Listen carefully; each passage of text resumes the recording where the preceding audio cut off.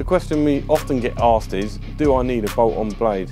Well, it's a bit like a saw. You sharpen it to make it easier to use and make it last longer. So in this video, we want to share a few tips and tricks on how to get the best life out of your bucket.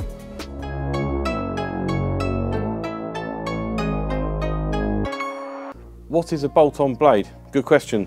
It's a double bevel edged piece of steel that's bolted to the lip plate to protect the lip plate but also make it stronger. Why do we recommend using a bolt-on blade? Well if you don't use a bolt-on blade you wear down the lip plate and once that's worn back beyond the bolt holes it's really ruined and it's a big job to cut out the lip plate and replace that. So we always recommend a bolt-on blade.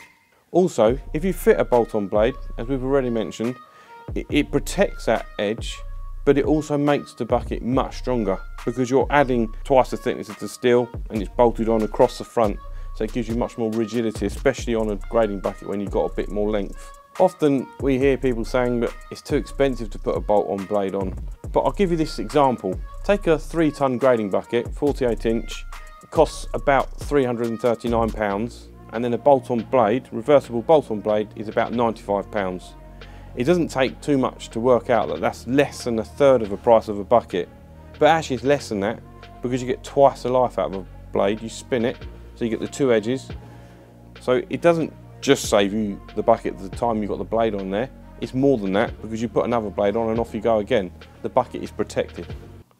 As we just mentioned, the bolt-on blade is reversible. So it means it's beveled on both edges and obviously bolted in the middle.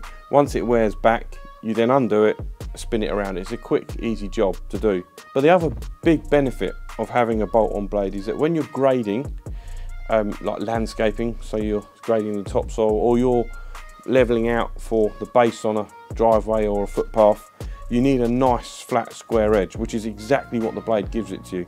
And if it is a bit worn and, and it's critical that you have that nice flat surface, you just spin the blade.